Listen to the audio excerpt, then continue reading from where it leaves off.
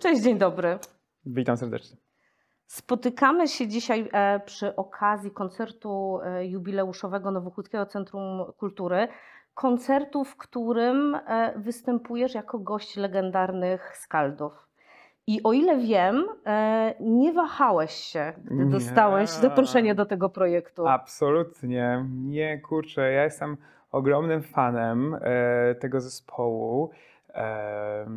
W ogóle i fanem kompozycji Andrzeja Zielińskiego. To jest mój guru i no, chciałbym tak pięknie pisać jak on pisał i pisze, więc e, jestem zaszczycony, że jak mam szansę poznać legendy, osoby, które podziwiam, to w ogóle się nie waham. E, Bardzo wyjątkowe utwory też dzisiaj e, wykonujesz na naszej scenie.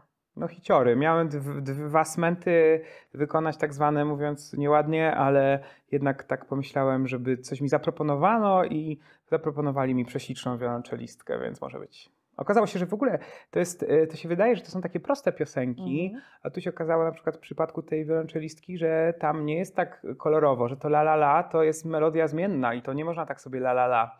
E, więc no musiałem naprawdę się przygotować.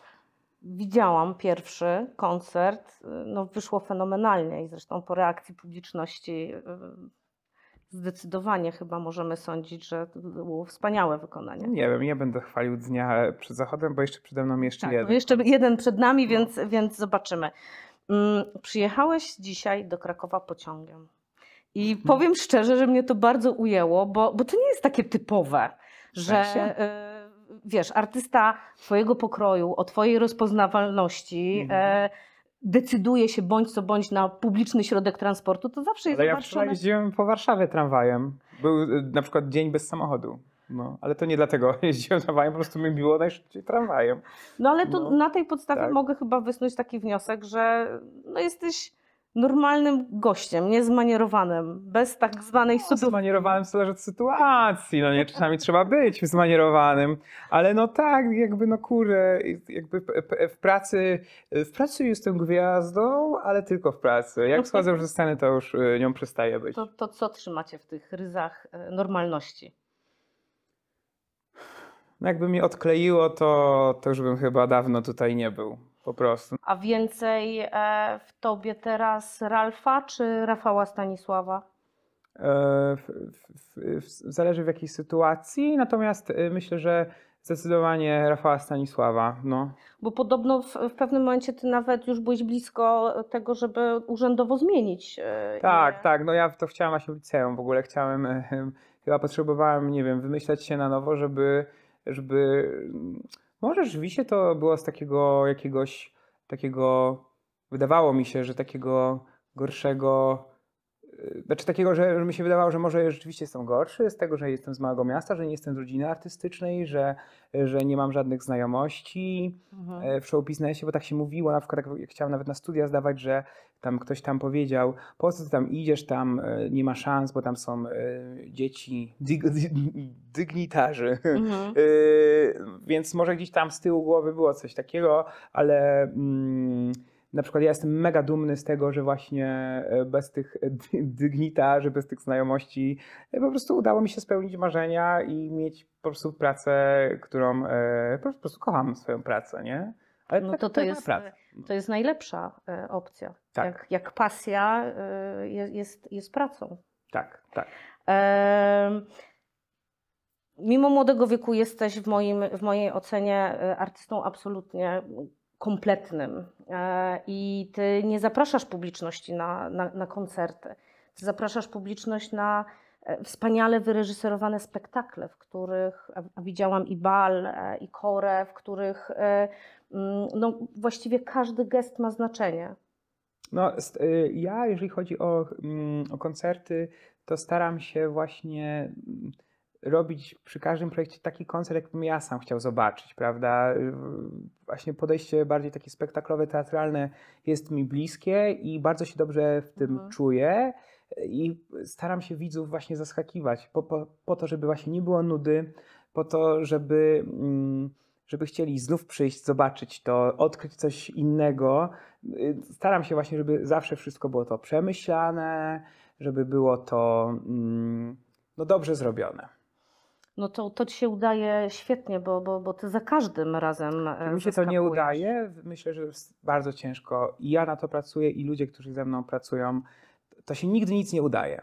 To Ale- trzeba mhm. naprawdę, y, to jest ogrom pracy, ale no, to, co się udaje, no to udaje się, że, że, że ludzie y, do tej pory po prostu, można tak nieładnie powiedzieć, to kupowali, że, że, że to Mhm. działało. Że ci, co przychodzili, nawet y, ci niechętni, ci sceptyczni, zawsze udaje się ich y, gdzieś tam przekonać, albo y, może nie są fanami, ale rozumieją na przykład Za, zaskoczyć, gdzieś tam za, zatrzymać e, ich uwagę chociaż na chwilę. Tak, prawda? znaczy moim zadaniem po prostu y, takim celem w robieniu y, wszystkiego kreatywnie jest po, po to, żeby dawać jak najlepszą rozrywkę widzom po prostu. To, Mhm. jest, to jest mój cel, ja to kocham robić i em, oczywiście mega się w tym spełniam, y, ale, ale jakby jest to gdzieś tam jakieś też dla własnej przyjemności, bo robię rzeczy, które, które staram się robić rzeczy, któ- które mi sprawiają przyjemność, ale właśnie to jest dla ludzi. Ja jestem do, dla ludzi, my jesteśmy dla ludzi Mhm. po to, żeby po prostu oni zapominali o rzeczywistości.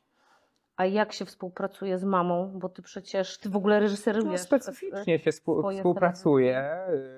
y, Znaczy mm, ogólnie bardzo dobrze, to nie, ale, ale to nie jest y, proste mieć mamę na planie czasami, no bo mama jest mamą, prawda? I, I zawsze nią będzie i to jest super, ale moja mama y, po prostu jest świetna we współpracy, ponieważ y, bardzo Ale okazało się... twojej wizji? Tak, absolutnie. Czy, dyskutuje z tym? Nie, moja mama bardzo myśli postaci, postaciowo. Mhm. E,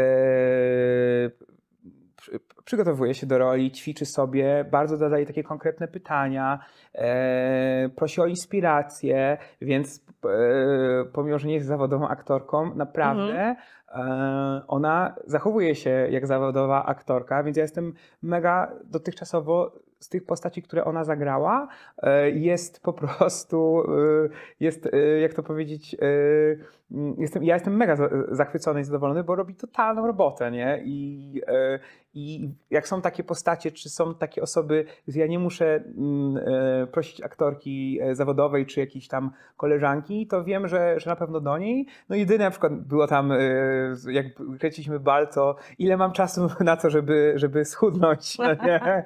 Ja mówię, że dla mnie nie musisz chuznąć, no więc, więc to są takie różne sytuacje. No nie, to jest świetne, bo ty też chyba w ten sposób spełniasz trochę marzenia mamy.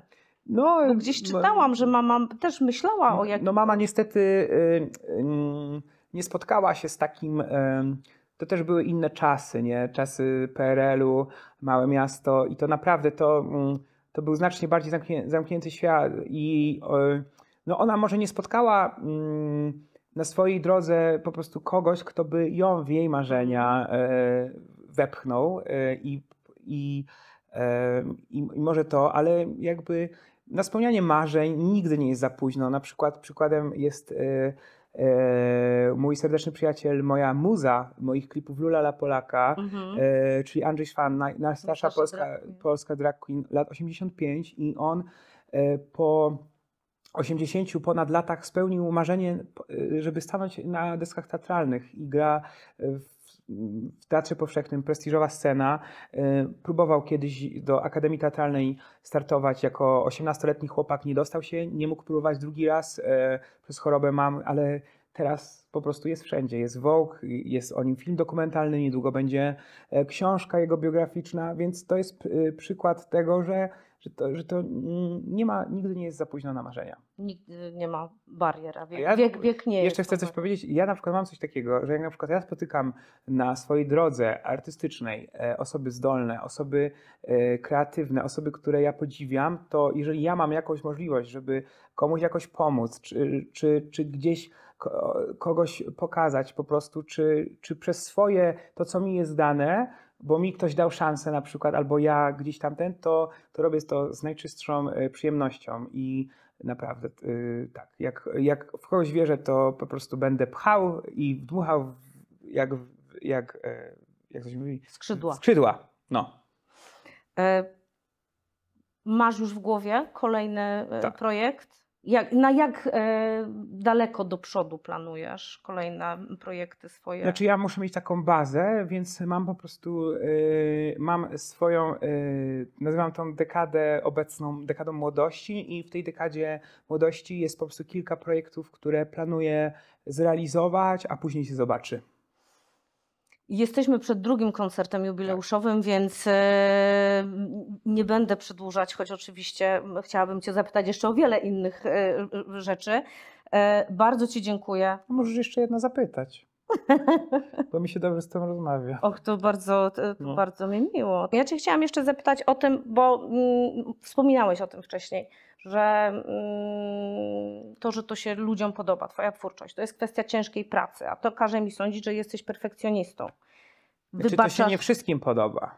Y, No, nie I wszystkim, Znaczy, ale... jakby mm, ja też przy ostatnim projekcie zrozumiałem, e, jakby tak jakby doszłem, doszedłem do wniosku, że, że jakoś nie zależy mi może, żeby do wszystkich docierać ze swoją twórczością. Jakoś tak. Myślałem, że, że, że, że No ale to jest takie dojrzałe podejście. nie wiem, czy to jest dojrzałe, po prostu chcę robić po prostu e, rzeczy dla ludzi, którzy są po prostu otwarci na Mhm. różne zmiany, na i po prostu to yy, i, nie po, i, i niepowierzchowni, więc yy, jakoś ten taki świat takiej komercji, sprze, sprzedażowości yy, nie jest mi jakoś tak, nie, nie czuję się w nim zbyt komfortowo, no to to, to, Mhm. to zrozumiałem, a jeżeli chodzi o perfekcjonizm, po prostu mm, po, staram się jak najlepiej wykonywać swoją pracę i robić rze- rzeczy do końca, jak się zobowiązuję, co jest czasami bardzo, bardzo trudne, yy, ale myślę, że, że też yy, szukam tego luzu takiego i bo, bo taki zbytni perfekcjonizm, on do niczego nie prowadzi. To jest jak nagrywanie wokali, że ja na przykład teraz jak nagrywam e, wokal, no to nagrywam maksymalnie 3-4 ślady i już nie, nie szukam tego, żeby ta naturalność też nie może się tracić, nie? Mhm. Musi być jakaś naturalność. Prawda. Mm.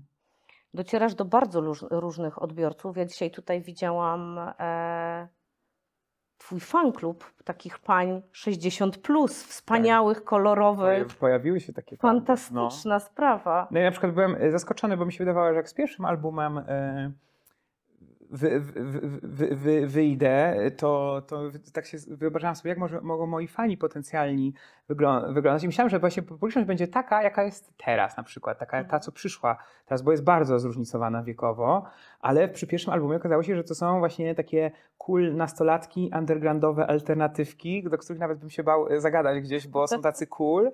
E, e, a teraz są właśnie, myślę, dużo jest takich osób e, i tych pań starszych, e, którym, którym chyba się przypomniała może młodość przez to, że tak e, poleciałem retro i oddałem hołd te, temu, co było w przeszłości u nas w Polsce. Więc myślę, że dla nich jestem jakimś e, wspomnieniem ich ulubionych lat. Pewnie gdzie były zakochane albo jakieś tam, nie wiem, szalone. No i przyjeżdżają na te koncerty i są szalone. No. A masz rzeczywiście taką retro duszę trochę? No ja wiem, mi się po prostu podoba, podobają mi się takie rzeczy przeszłe, bo mm, nie wszystkie oczywiście, ale bardzo często one są świetnie zrobione Mhm. technicznie. To są naprawdę zrobione, tak jak właśnie muzyka Skaldów. To, to, te płyty z końca lat 60. to brzmi wybitnie. No po prostu wszyscy próbują odwzorować te brzmienie, a to po tylu latach jest bardzo współczesne i genialne kompozytorsko. No ponadczasowe wciąż, Ponadczasowe, prawda? tak. Bardzo Ci Dziękuję. dziękuję. Dziękuję. E, I życzę Ci, żeby ta energia, która Ci Mhm. towarzyszy, no kosmiczna energia, Aha. nie możemy tego nazwać inaczej, towarzyszyła Ci e, zawsze i oczywiście e, ukłony dla babci Krystyny. O, dobrze, pozdrowie i ja życzę wszystkim, żeby mieli u, u siebie bal. Dziękuję uprzejmie. Dziękuję.